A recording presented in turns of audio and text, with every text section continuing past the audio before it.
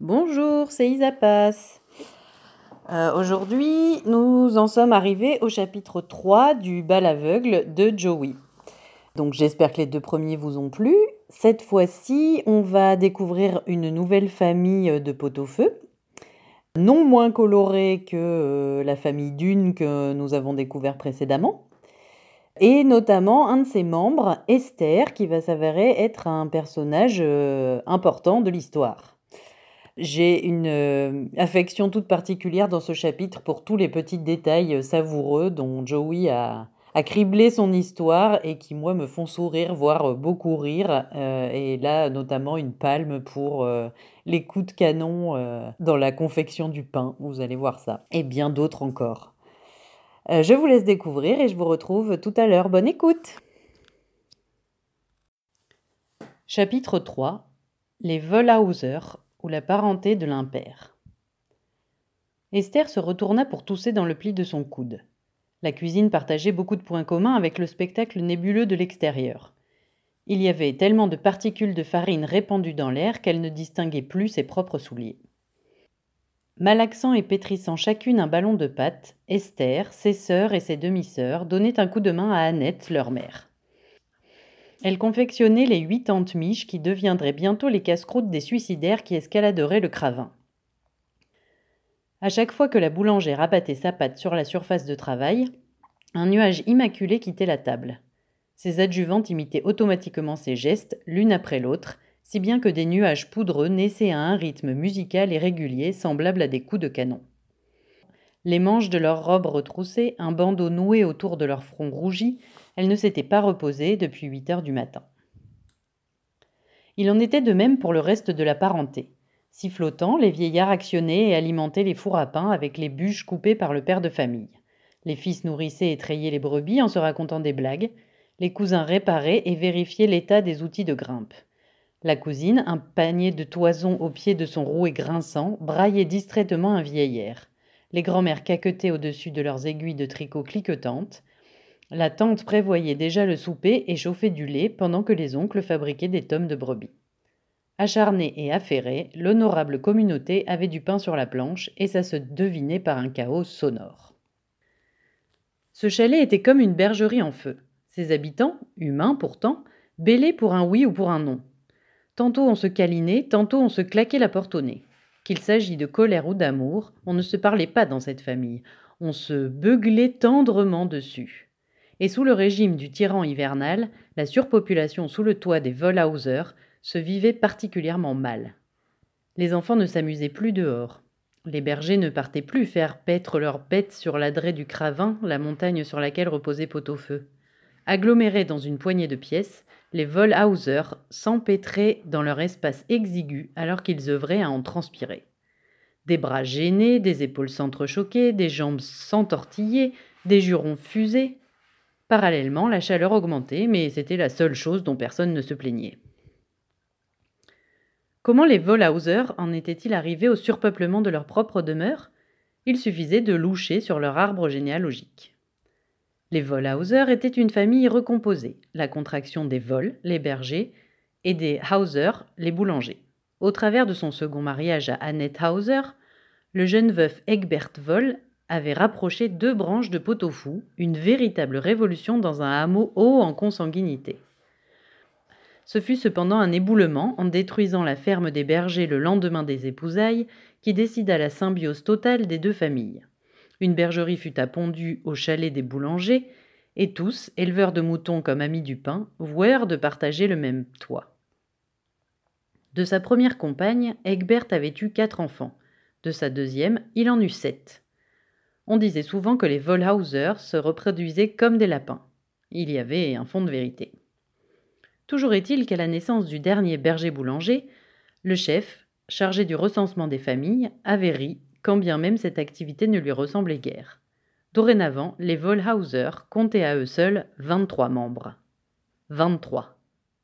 Autrement dit, la moitié de la population de Pot-au-Feu. Même si c'était pour rendre visite à l'homme le plus méprisé du village, la silencieuse Esther avait hâte de s'éclipser. Elle, binoclarde réservée qui favorisait le calme et la solitude par-dessus tout, avait eu le malheur de naître dans une ruche d'abeilles. Le bourdonnement quotidien, les querelles sans queue ni tête, les récits sans intérêt sans cesse ressassés.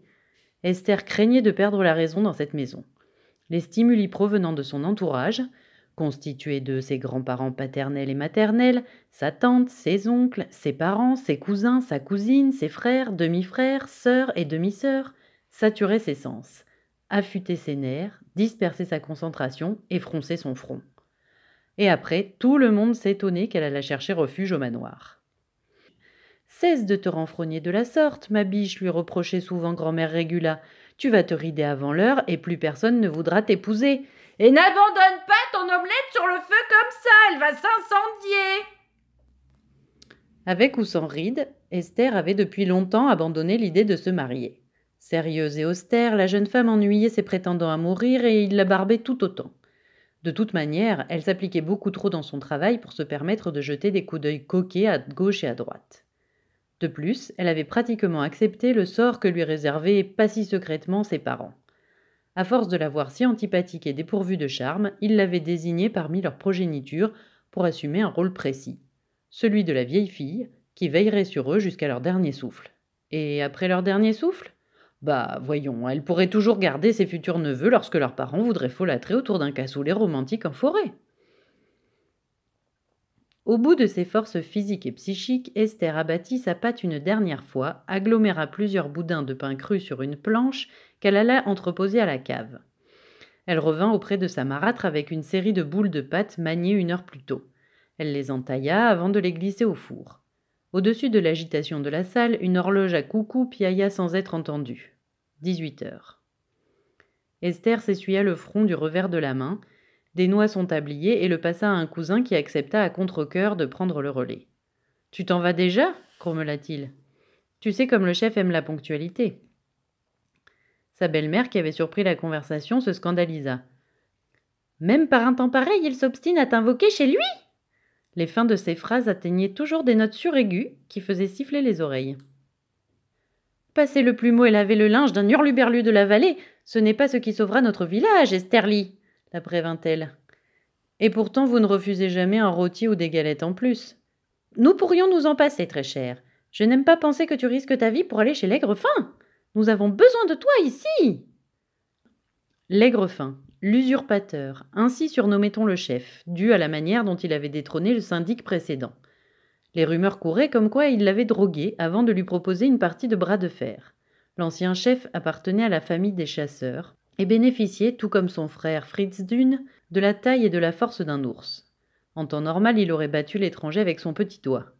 Or, ramolli et sous l'effet de champignons hallucinogènes, le prédécesseur fut facilement vaincu. Honteux et dévasté par sa défaite et la perte de sa réputation d'Hercule, l'ex-syndic avait décidé de s'exiler et de vivre en ermite jusqu'à la fin de ses jours. On racontait aussi qu'il était devenu fou allié, mais de ce côté-là, mystère et boule de gomme. L'étranger, l'aigrefin, l'usurpateur, l'homme venu d'en bas s'était valu une carte de surnom et une méfiance de la part de ses sujets. On n'appréciait pas trop les étrangers à pot au feu, et le sentiment était réciproque. Si le chef était surnommé l'aigrefin, son employé était connu sous le glorieux nom de l'impair. Impair comme les nombres indivisibles par deux, impair comme la chaussette de trop, impair comme la chaussure gauche qui n'a pas de jumelle droite. Esther voulut rétorquer que le chef était trop occupé pour faire le ménage et que c'était pour le bien de tous qu'il devait rester occupé. Cependant, le début de sa phrase ne dépassa jamais le murmure. Trois de ses frangins avaient fait leur entrée en galopant, bousculant leurs aînés, renversant les pots de sucre et de raisins secs. Annette rattrapa un pot de miel de justesse.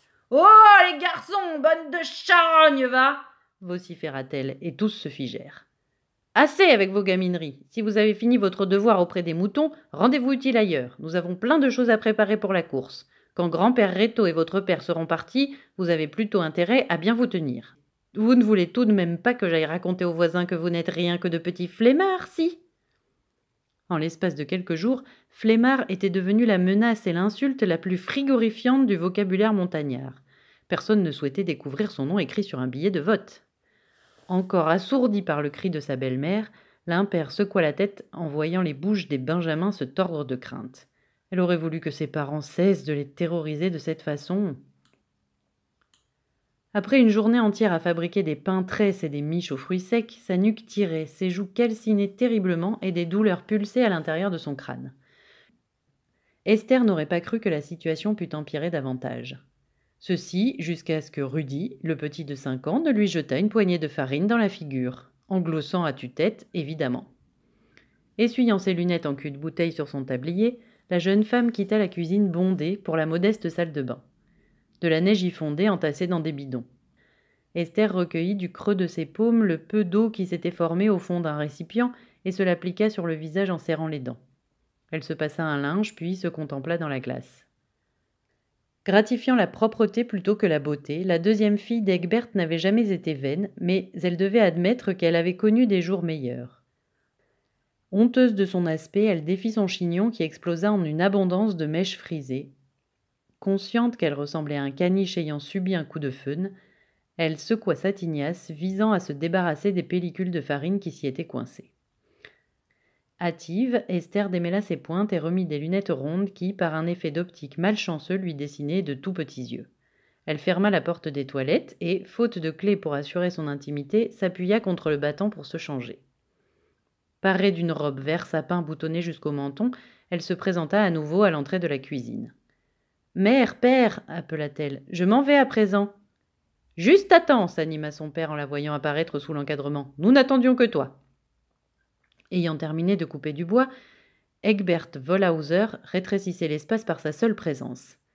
Il rajusta son béret et marcha énergiquement en direction de sa fille. Choquée, celle-ci se laissa attraper et planter sur une chaise entre deux demi-frères qui se bagarraient. Elle n'en revenait pas. Les Vollhauser avaient abandonné leur besogne pour se regrouper autour de l'immense table en chêne. Tout avait été laissé tel quel, ustensiles en vrac, serviettes par terre, œufs cassés éparpillés, et à la grande stupéfaction d'Esther, le silence, ou quelque chose de semblable, régnait. L'impère savoura cette rareté auditive. Chez les Vollhauser, le silence n'était réservé que pour le décès d'un proche ou l'extinction prématurée de leur fromage préféré. Nous avons deux, trois éléments à discuter, grogna grand-père Réto, accoudé à une fenêtre, une bouteille de vin à la main. Avant que tu partes chez l'autre babouin. Le vieux Réto avait le nez enflé et violacé, percé de gros pores noirs, méprenables à une fraise géante. Malgré la distance, la petite fille contracta ses narines, percevant son haleine teintée d'alcool. Je vais être en retard, protesta-t-elle avec prudence. Elle crut d'abord que personne ne l'avait entendu, mais Réto maugréa. S'il te garde toute la semaine, le chenapan peut bien t'épargner pour dix minutes, non? Des avis et des conversations éclatèrent. Peu de monde voyait d'un bon œil les heures qu'elle passait de l'autre côté de la rue, surtout qu'avec un hiver aussi déchaîné, elle ne ferait pas le chemin inverse avant la semaine suivante. Egbert le berger se racla la gorge. Votre attention, s'il vous plaît. Silence Nom d'une bique. Silence Merci. Les jours avant la grande course sont comptés et l'issue de cette aventure nous est entièrement inconnue. C'est pourquoi il est impératif que nous nous préparions pour le pire. Je vous parle de ça aujourd'hui dans le cas où Reto et moi-même périssions. Chacun d'entre nous a le devoir de faire prévaloir la santé et la sécurité de cette famille. Chacun d'entre nous, enfant comme adulte, femme comme homme, a le droit au vote. Nous devons nous unir autour de ce scrutin, car il est notre arme d'attaque et de défense. Nous, Volhauser, représentons la moitié de notre pot-au-feu bien-aimé. En tant que tel, nous avons le pouvoir de faire pencher la balance d'un côté ou de l'autre. Si tout le monde joue le jeu, si nous visons tous la même victime, nous aurons un compte réglé ainsi qu'une famille protégée. Jouez le jeu et nous verrons un cassoulet meilleur. Nous verrons un cassoulet meilleur reprirent les Volhauser à l'unisson. Les scènes de ménage ne troublaient de loin pas le puissant lien de sang qui maintenait les Volhauser aussi unis que les boucles tricotées par grand-mère Regula et grand-mère Elke. En effet, assises l'une à côté de l'autre, elles tricotaient simultanément la même écharpe, s'échangeant deux des quatre longues aiguilles lorsque nécessaire. Je propose que nous choisissions notre cible dès le retour de Reto et d'Egbert, dit Annette. Un personnage nuisible qui ait manqué de respect à l'honneur de notre famille par le passé, par exemple. Qui que ce soit, nous nous mettrons d'accord et tels des forgerons, nous frapperons. Nous frapperons Anticipant le boucan, Esther se boucha les oreilles. On applaudit bruyamment, on siffla, on tapa des pieds sous la table, on chanta à plein poumon. Esther dévisagea les gens autour d'elle, un à un, comme s'il s'agissait d'intrus. Cette idée de sacrifice la dégoûtait de fond en comble. Fainéant ou pas, personne ne méritait de mourir pour cause de saisons capricieuses. Esther en avait assez. Discrète parmi le tumulte, elle se leva. Une valise à la main, les pieds lacés dans de hautes bottines et emmitouflée de son plus épais manteau, elle tendit la main vers la poignée de la porte, la muraille qui retenait l'hostilité extérieure. À chaque fois, Esther appréhendait cet instant, mais elle savait que braver l'hiver valait la peine. Prête, elle inspira une bouffée de détermination et exécuta un léger mouvement rotatoire du poignet. La tempête l'aspira aussitôt. La jeune femme eut juste le temps d'entendre la porte claquer violemment avant d'être tiraillée par tous les côtés, comme attaquée par dix vandales. Les secondes qui suivirent furent un peu floues, ponctuées par les coups et les griffes de l'hiver qui gémissaient continuellement. Traîtresse, traîtresse, traîtresse l'injuriait-il. Oh, ça va, pesta Esther, tu ne vas pas t'y mettre toi aussi. Se forçant à écarquiller les yeux, elle voulut localiser le manoir. Bien sûr, elle n'y arriva pas, le brouillard était trop dense. Se fiant alors à son instinct, elle fit un pas en avant. Perdit-elle son équilibre ou avait-elle posé un pied peu assuré? Le fait est que l'employé du chef dérapa sur une plaque glacée, un piège malicieusement placé par le géant du froid, et qu'avec un patatras, elle s'effondra et se cogna la tête contre la dernière marche du perron. Le vent lui ricana dans les tympans. Lorsque, étourdie, elle releva le menton, elle fut incapable de reconnaître son environnement. En plus de la brume, de la buée semblait avoir envahi pot-au-feu, à tel point qu'elle ne distinguait plus ses mains. Esther comprit qu'elle avait égaré ses lunettes. Tandis que l'air glacial s'évertuait à la huer, la gifler et lui crachait des cristaux de hargne, la jeune Volhauser palpa ses environs à demi aveuglée. Elle ne retrouva pas ses lunettes, mais sa valise. Jolie robe, Poirot fit une voix issue de nulle part. Esther sursauta. On lui tapota sur l'épaule. Hé, c'est ça que tu cherches? Bouge pas. Déboussolée, l'impère sentit ses lunettes se poser sur son nez. En clignant des yeux, elle reconnut son interlocutrice. Friga la fille du berger et la fille du chasseur puisaient leur solide amitié dans leur fossé de différences et de défauts. Si Esther avait grignoté la majorité de sa vingtaine, Friga, elle, ne l'avait même pas entamée. Une était régulièrement traitée de gros tas et d'indigne, alors que l'autre était là coincée et l'ennuyante à se tirer une balle du village. Les deux boucs émissaires s'entendaient à merveille. Que fais-tu dehors? s'inquiéta la plus âgée des deux. Ne me dis pas que tu désertes. Personne, depuis que le sacrifice avait été décrété, n'avait l'autorisation de s'éloigner du village, si ce n'était pas dans le cadre de la grande course. Quiconque transgresserait cette règle serait attaché à un poteau et fusillé, à moins qu'on ne le retrouvât mort gelé dans les bois. Je pourrais te faire la même remarque, se défendit Friga. D'ivoire, on part en voyage ajouta-t-elle en pointant vers la valise. Je me rends chez l'aigrefin. L'adolescente haussa les sourcils en se mordillant sa lèvre déjà toute pelée. Elle non plus n'appréciait pas l'idée que sa meilleure amie servît l'homme qui avait détrôné son oncle. Hum, eh bien, moi, tout comme toi, je vais au boulot. Chasser, c'est-à-dire. Quoi? Par ce temps, toute seule? Tu es timbrée Pas le choix. Le vieux Mathéus est passé chez toi? Oui, ce matin, pourquoi? Tu aurais dû entendre ce qu'il a dit à mon père, ce blaireau. Il l'a élégamment menacé avant de me prétendre incompétente. Son amie ouvrit la bouche stupéfaite. Il a dit pratiquement la même chose à mes parents sous mon nez. Que sait-elle faire de ses dix doigts à part repasser les chemises de l'usurpateur? Et il m'a traité de traîtresse en sortant. Le sale rustre On vote contre lui, d'accord, on le descend, hein Pardon? Non Et pourquoi pas? Il nous cherche des noises, on l'envoie au diable Esther ne discernait pas la silhouette entière de Friga, mais elle devinait par le mouvement fervent de ses bras à quel point cette idée l'enthousiasmait. C'est le sage s'égosilla Esther en voulant couvrir les moqueries du vent. Il est vachement taré pour un sage. Friga, j'apprécie ta solidarité, mais je ne crois pas que. Tu as une meilleure cible à proposer s'énerva la dénommée. C'est du sérieux, Esther. C'est tu ou soit tué. S'il commence à nous mettre tout le monde à dos? Je sais, mais je ne voudrais tuer personne. C'est mignon. Et le sacrifice au nom de l'hiver, alors? Je t'en prie, rentre chez toi. T'as pas répondu à ma question. Esther serra sa valise, sa seule source de réconfort, contre sa poitrine. L'hiver finira bien par faire ses victimes tout seul, tôt ou tard, sacrifice ou non. Rentre et prends soin de toi, Friga. C'est la fin pour aujourd'hui. Euh, j'espère que vous avez apprécié, que vous avez passé un bon moment et je vous retrouve euh, très bientôt pour le chapitre 4. bientôt les plumes